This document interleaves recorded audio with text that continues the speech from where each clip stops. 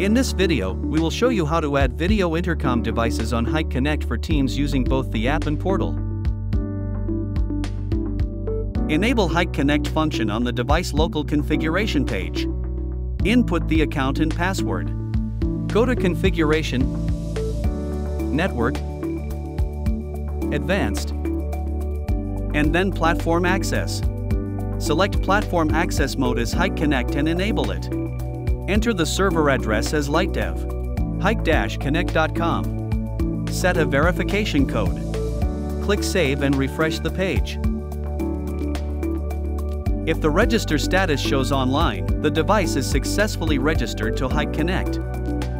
Log in to the Hik-Connect app. Tap on Add. Select Scan QR code.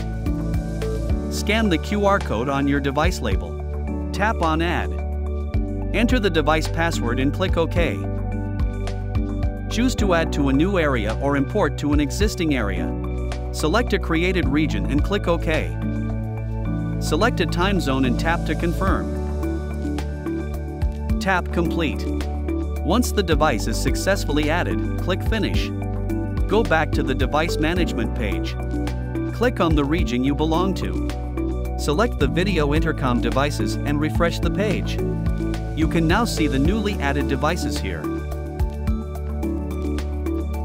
Log into the Hik-Connect portal and go to Device and Maintenance. Device, and then Video Intercom Device. Click on Add Device. Enter the device serial number and verification code. Set the device name and user information.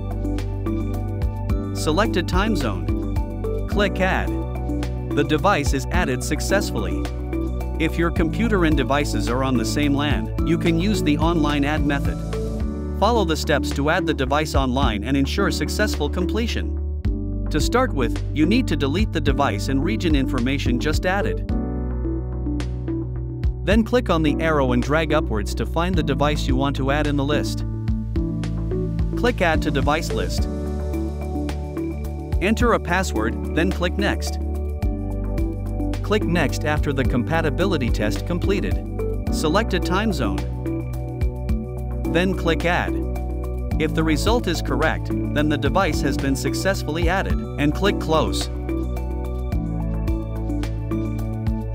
Hik-Connect for Teams, Connected Security, ready to go.